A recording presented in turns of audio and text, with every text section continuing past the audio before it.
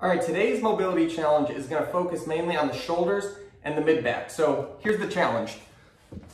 You're gonna lay down on your stomach, uh, body in a nice long position here. Hands are gonna go behind the back, stacked on each other. And then from here, you're gonna look straight down.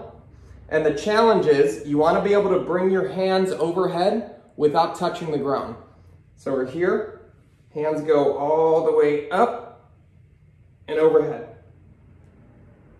And again, what that looks like here, hands all the way up. And then overhead. This will feel really good on the shoulders and the lower traps, kind of that mid-back area.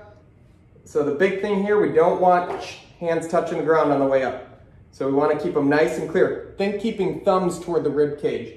That's a cue I use with a lot of my swimmers as well. When they're on that positive phase of the stroke, so that their hand doesn't get too far out that way. Another tip here is when you're going up, try not to pull from the low back. So think you're pulling all from the mid back and the lower neck. So kind of boom, that motion, not that motion. So we're keeping the chin tucked.